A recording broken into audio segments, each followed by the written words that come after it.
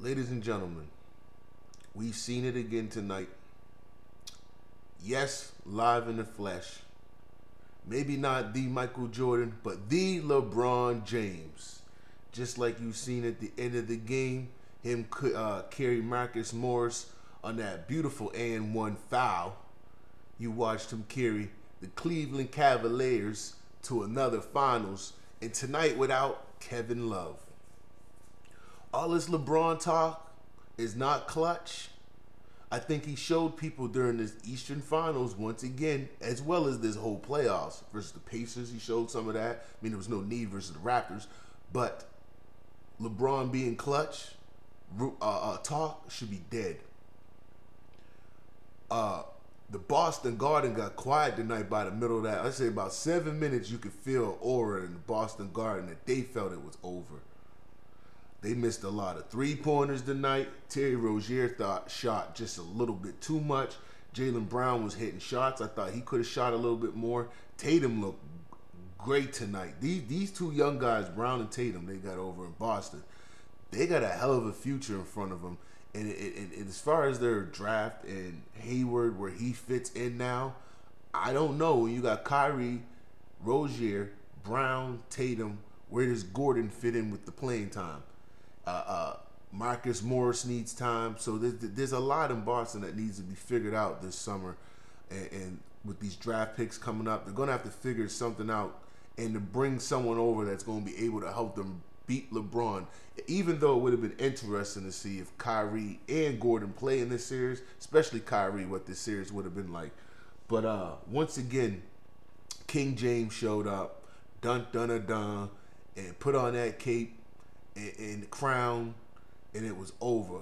Huge game by Jeff Green tonight. Jeff Green, I believe, 19. You might have more, but last time I, I, I kept up, it was 19 points. Jeff Green had a huge game. He hit some shots.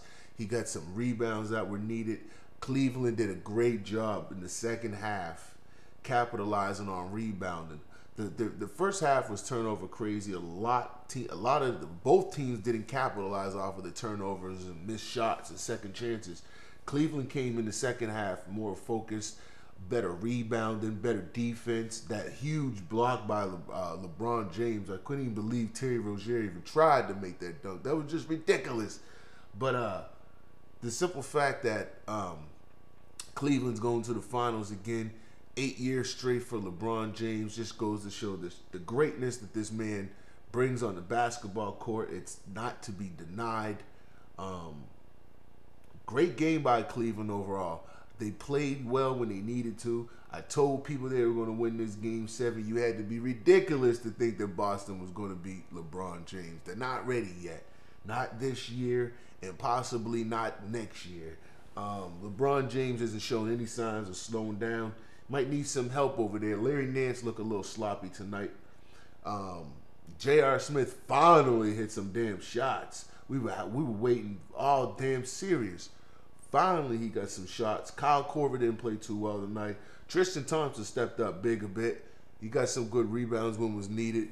But the Cleveland's game plan in the second half shut Boston down. I don't think they scored much in the second half of the game, to be honest. I don't recall them scoring much in the second half of this game. Marcus Smart shot a bunch of stupid shots. Rozier shot a lot of stupid shots. Tatum Brown should have been more of the focus point of the second half, and they took the ball away from them and made Rozier and Marcus Smart shoot up a lot of shit. And Horford just disappeared kind of in the the second half of the game. He started off good and then kind of disappeared. I think it was Cleveland's defense that they didn't get props for because Tristan Thompson stepped up big time. LeBron started playing a little bit of defense in the second half. The first half he was late. He looked lazy. But uh they did it again. The Cleveland Cavaliers are going to the finals. We don't know if they're going to be playing the Houston Rockets yet or the Golden State Warriors. Uh, we live ready to do that tomorrow night as well after the game. Um, tomorrow night's tough. I don't. I was going Golden State all serious, and I'm not going to get too much into Golden State Houston. We'll leave that for tomorrow. But uh, after watching these first six games, I recognize both teams can win any given night. They both know how to beat each other.